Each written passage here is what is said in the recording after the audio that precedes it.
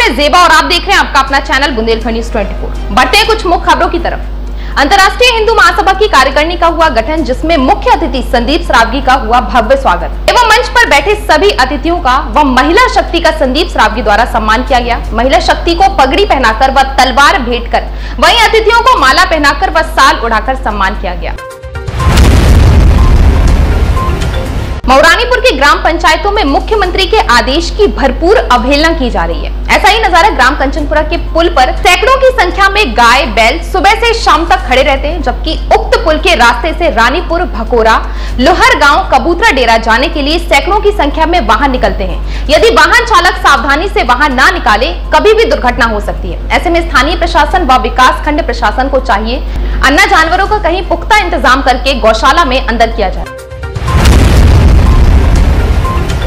महानगर के विकास का खाका खींचने वाले अफसर विकास कार्यों को ज़मीन पर उतारने के लिए संजीदा नहीं है। आलम यह है कि अफसरों के पास जनता की सहूलियत के कामों को लेकर चर्चा करने का वक्त नहीं है। ऐसे में 16 करोड़ के काम अटके पड़े हैं। झांसी विकास प्राधिकरण में 4 सितंबर को बोर्ड बैठक होनी थी, लेकिन 21 दिन बाद भी अवस्थापना विकास निधि से बोर्ड की तारीख तय नहीं हो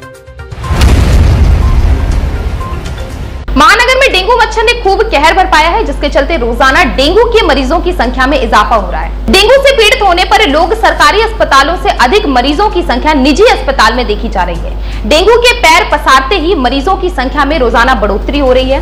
मरीजों का आलम यह है की जिला अस्पताल के साथ ही मेडिकल कॉलेज के डेंगू वार्ड में भी लगभग सभी पलंग भरे हुए हैं। इसके अलावा शहर के निजी अस्पतालों में भी डेंगू के मरीजों की भरमार हो गई है।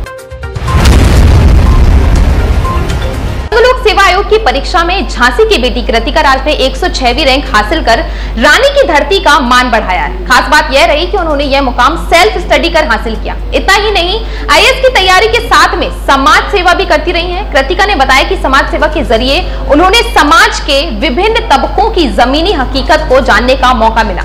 यह अनुभव उनके भविष्य में काम आएगा। लोगों के लिए अब वह और भी बेहतर ढंग से काम कर सकते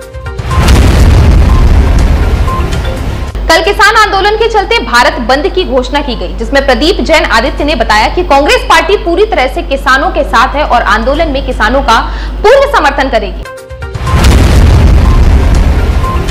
बुंदेलखंड न्यूज़ 24 की टीम आज राजीव सिंह पारीक्षा, जो बीजेपी से बबीना क्षेत्र के विधायक हैं, के कार्यालय पहुँची, जहाँ जनता दरबार में लोगों की समस्याओं पर बात की गई। महिलाएँ बीजेपी कार्यकारिणी में अपनी भूमिका अदा करने में उद्देश्य से वहाँ पहुँची थी। सरकार की सेवाएँ लोगों तक पहुँचाने के लिए महिलाओं के ग्रुप बनाकर रूपरेखा तैयार की गई और महिलाओं की नई कार्यकारिणी भी गठित की गई। भारत सरकार के द्वारा चलाई जा रही जरूरतमंद व्यक्ति के लिए आवास योजना का लाभ जरूरतमंद व्यक्ति तक सही मायने में नहीं पहुँच पा रहा। यह लाभ उन लोगों तक आसानी से पहुँच पा रहा है जो किसी माध्यम से योजना से जुड़े हुए लोगों तक पहुँच रखते हैं। मामला मौरानीपुर तहसील क्षेत्र के नगर पंचायत रानीपुर का है, जहाँ पर वार्ड नंबर तीन में रहने वाले राम सेवक ने बताया कि वह 2016 और 2017 से प्रधानमंत्री शहरी आवास योजना के लिए लगातार ऑनलाइन आवेदन करता आ रहा है, लेकिन आज तक उसे 2021 तक आवास योजना का लाभ नहीं मिला। अखिल भारतीय कायस्थ महासभा के तत्वाधान में आयोजित कार्यकारिणी विस्तार में सम्मान समारोह का आयोजन राजकीय संग्रहालय में मुख्य अतिथि संदीप सरावगी, विशिष्ट अतिथि सुरेखा, विशेष अतिथि पवन सक्सेना, साहित्यकार चित्रगुप्त श्रीवास्तव ने विधिवत भगवान चित्रगुप्त जी के चित्र पर माल्यार्पण कर दीप प्रज्वलित किया। बुंदेलखंड की मुख्य खबरों को देखने के लिए देखते रहिए आपका अपना चैनल बुंदेलखंड न्यूज़ 24